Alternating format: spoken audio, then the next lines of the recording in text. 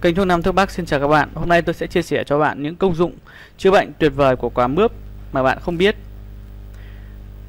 Viêm sang, viêm họng, đại tiện ra máu, đau nhức thần kinh là những bệnh hoàn toàn có thể chữa khỏi nhờ quả mướp bởi tất cả các bộ phận của loại quả này từ xa xưa đã trở thành những bài thuốc quý trong đông y.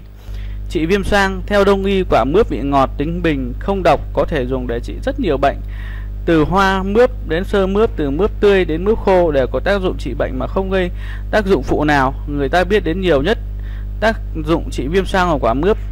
Theo đó, chỉ cần dùng quả mướp khô, sắc nước uống liên tục trong 8 ngày, người bệnh sẽ thấy sự khác biệt rõ rệt.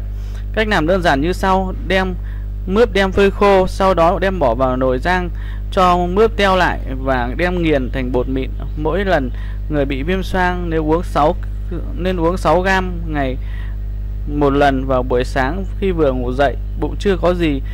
Kiên trì thực hiện trong 8 ngày chữa viêm xoang sẽ chứng viêm xoang sẽ biến mất. Trị đại tiện giam máu do trĩ về chứng chứng đi đại tiện khó khăn đến mức chảy cả máu có thể dùng hoa mướp nấu nước uống hoặc đơn giản là phổ biến hơn dùng mướp nấu canh ăn hàng ngày sẽ có tác dụng nhuận tràng nếu dùng hoa mướp, người bệnh chỉ chỉ cần dùng 30g hoa mướp nấu thành nước uống, uống mỗi ngày một lần, đơn giản hơn. Người bị trĩ có thể dùng mướp tươi nấu canh dùng cùng thịt lợn nạc hàng ngày ăn hàng ngày. Chữa viêm họng, ná mướp hương, hương rửa sạch giã nhỏ với ít muối thêm nước gạn uống làm một lần chữa ho hen kéo dài ná mướp hương 15g nấu uống nước uống hoặc chế biến dưới dạng cao lỏng 1 trên 1 mỗi lần uống 0,5 ml.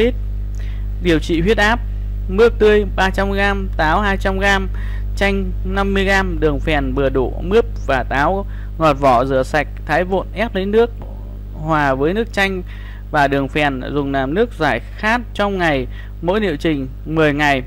Trị đau nhức thần kinh lấy nước mướp hâm nóng xong uống lượng dùng dựa theo triệu chứng bệnh nặng nhẹ để định đoạt. Mỗi ngày uống khoảng 100ml hoặc dùng lá mướp xay nhuyễn thành nước bôi lên chỗ đau cũng có hiệu nghiệm.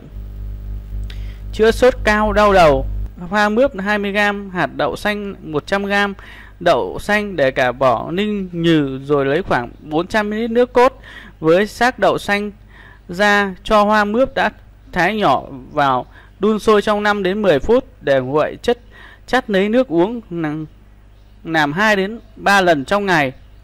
Chị nổi mề đay, lá mướp tươi một nắm, nghiền nát thành nước, thêm vào một chút băng phiến, bôi nên vết lở nổi, điều hòa kinh nguyệt, dùng một quả mướp khô, đốt tồn tính, tán bột uống ngày 10 gram vào lúc sáng sớm, đói bụng có tác dụng điều hòa kinh nguyệt mỗi liệu trình 10 ngày.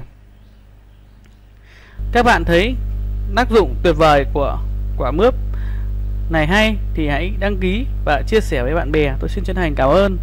Trong ngày, chị nổi mề đay, ná mướp tươi một nắm, nghiền nát thành nước, thêm vào một chút băng phiến, bôi nên vết lở nổi, điều hòa kinh nguyệt, dùng một quả mướp khô, đốt tồn tính, tán bột uống ngày 10 gram vào lúc sáng sớm, đói bụng có tác dụng điều hòa kinh nguyệt mỗi liệu trình 10 ngày. Các bạn thấy tác dụng tuyệt vời của quả mướp này hay thì hãy đăng ký và chia sẻ với bạn bè. Tôi xin chân thành cảm ơn. Này hay thì hãy đăng ký và chia sẻ với bạn bè. Tôi xin chân thành cảm ơn. Cảm ơn.